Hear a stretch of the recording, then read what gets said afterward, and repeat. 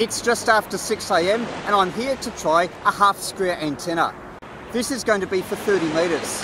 A half square comprises two quarter wavelength verticals separated by a half wavelength with a wire joined on the top.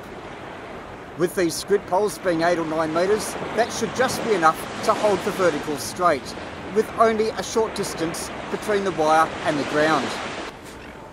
I've added a new tool to my QRP arsenal, a mallet. That will help hammer the ground stake deeper into the sand and hopefully ensure the antenna doesn't blow over. And being rubber, it's going to damage the metal less than if I used a metal hammer. And it's lighter to cut as well. All you need for the half square is 30 metres of wire. There's insulators at the 7.5 and 22.5 metre interval. That provides a quarter wave, half wave and another quarter wave dropping down. I'm screwing a nut to the free end of the wire to act as a weight. It's a good thing there's no wind. If there was, I might need something more, like a line or even some tape. Instead of twisting the wire and tying a knot, I'm using a piece of chopping board with three holes drilled. Two to pass the wire and one for the support string.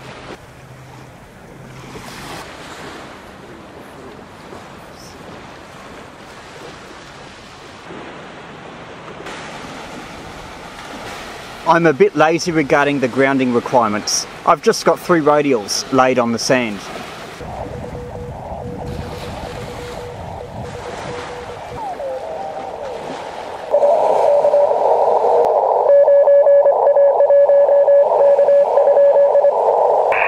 The antenna is cut for 10 megahertz, and I'd intended to work some CWDX. However, local noise was high, and calls to a couple of stations calling were unsuccessful.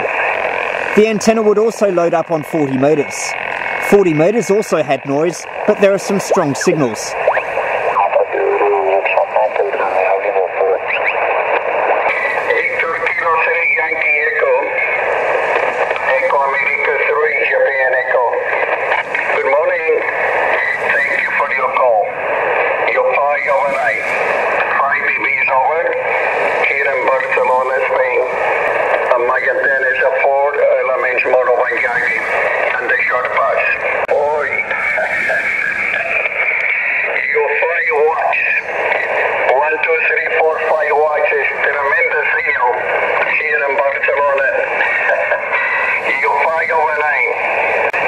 The sun's a bit higher above the horizon and signals on 10 MHz have come up.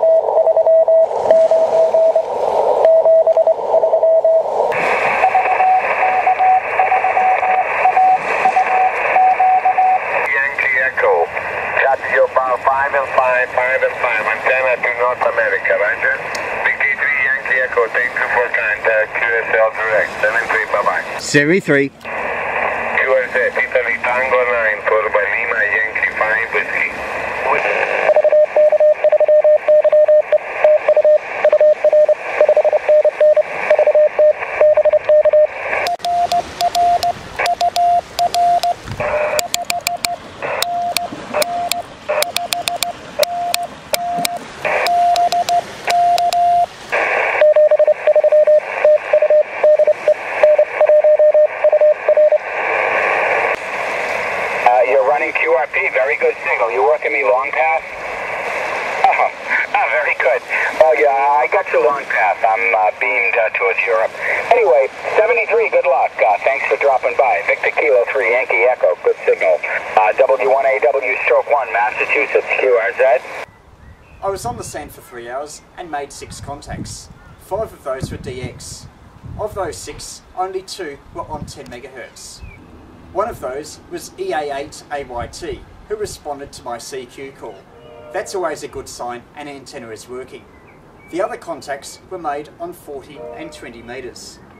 That indicates that even though you might have an antenna optimised for one band, it's wise to have it so that it can operate on another band if required. The conditions may suit that alternative band.